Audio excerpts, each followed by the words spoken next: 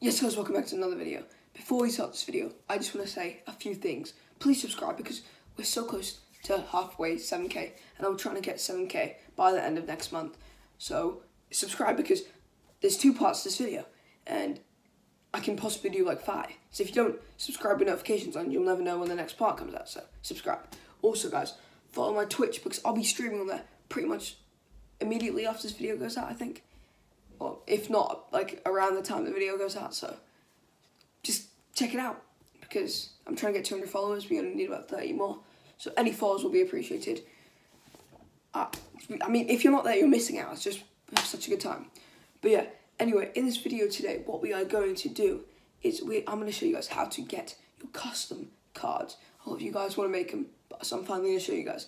It does take a long time, so I'm going to do multiple videos on this. So this part is just going to be the basics. Next video is going to be like creating the player, adding to the game and like stuff like that.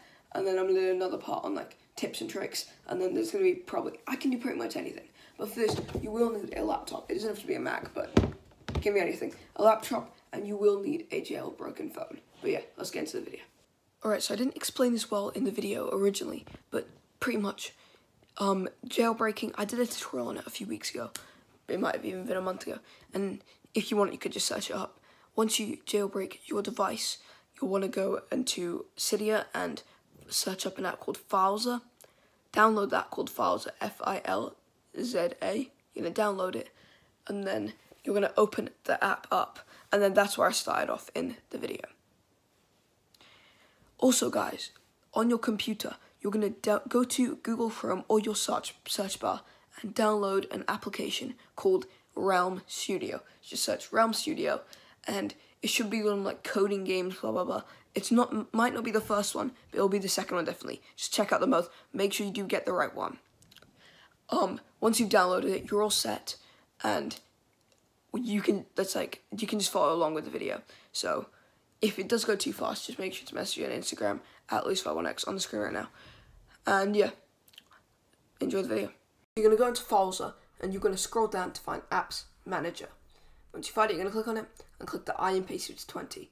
Then, once you click the I it to 20, you're going to go Library, so Documents, and you see a default realm at the top. Once you see that default realm, you're going to click like the thing at the top, tap on it, and you're going to share it to your computer. Because once you're doing your computer, then you're able to edit the players. So you click send email, and then you're going to email this um, realm to your computer. Once you're on your computer, then you need to get us. Uh, so first of all, you need to get something called default realm. Once you're a default realm, you see you have all the player IDs right here, and you're, it's like everything's available. You can change anything. If if you're good with coding, you can just go ahead and do this. But for the people who aren't, make sure you check out my next video because I'm going to teach you guys how to do it. So pretty much there's a, a button where it says new player at the top. You're going to select new player. The ID, you're going to put in a player ID. The player ID does not matter.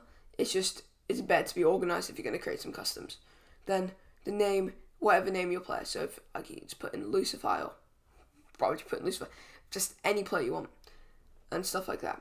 Um, then you can put in a rating, color, and club ID. Pretty much, that's how you create the player.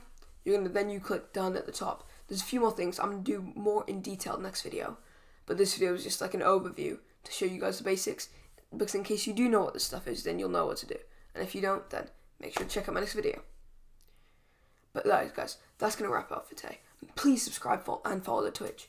I'll be, I should be live. I'm really trying to get 200 followers on Twitch, and I'm near, I want to get 7k. Really do. We're trying to get 10k by the end of the year, so if you subscribe, any like I know a lot of you watch this and who are not subscribed, so just this, there's no harm in subscribing because you want to see the next part. But yeah, guys, I'll catch you guys next video.